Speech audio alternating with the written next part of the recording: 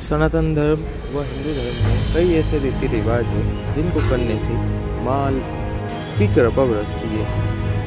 अलग अलग व्रत आदि पूजन करने का अलग अलग महत्व भी बताया गया है, जिसमें शीतला अष्टमी सर्वश्रेष्ठ मानी गई है।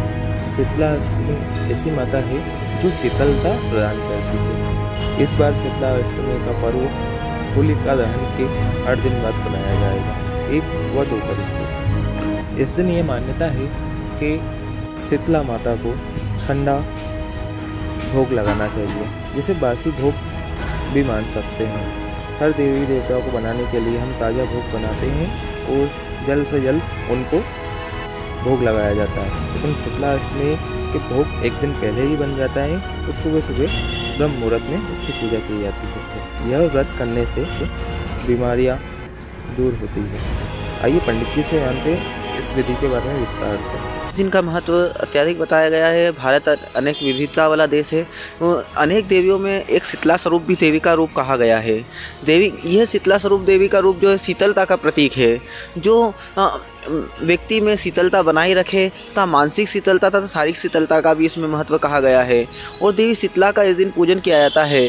सप्तमी और अष्टमी को शीतला माता का पूजन किया जाता है। इस दिन माता शीतला का पूजन कर करके उनको ठंडा भोग लगाया जाता है कि एक दिन पहले घर की सफ़ाई कर करके शुद्ध भोजन बनाया जाता है। चावल, पूड़ी, हलवा जो भी है, और गुजिया वगैरह यह पकवान बना कर करके देवी का पूजन किया जाता है सप्तमी और अष्टमी के दिन। यहाँ यहाँ पर देवी का पूजन के अनेक प्रकार से लाभ प्राप्त होता है और देवी का व्रत भी किया जाता है कि उस दिन घर में चूल्हा नहीं जलता। तथा देवी शीतला माता का पूजन ठंडा शिला जिसे कहते हैं, बसोड़ा भी कहते, कहीं जगह बसोड़ा कहा जाता है, कहीं जगह ठंडा शिला कहा जाता है। उस दिन देवी का पूजन करने के पश्चात ही घर में कुछ कुछ आग जलाई जाती है, अन्य ठंडा ही भोजन किया जाता है और ठंडा ही प्रसाद दिया जाता है।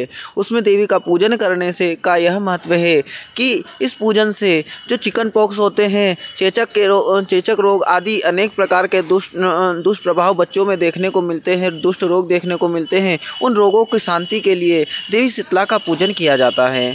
और इनके पूजन से अनेक प्रकार के कार्यों में अगर बाधा भी आ रही हो तो इनके पूजन करने से वो नष्ट होती है। और अपने जीवन में शांति बनाए रख रखने के लिए देवी शीतला का पूजन किया जाता है। इस प्रकार शीतला माता का स्वरूप कहा गया गया है और ये देवी का ही एक स्वरूप है, जो अपने बालकों को, बच्चों को दुष्प्रभाव से चिकन पॉक्स वगैरह, जो छोटी माता, बड़ी माता होती है, इसमें शीतला माता का पूजन कहा जाता है।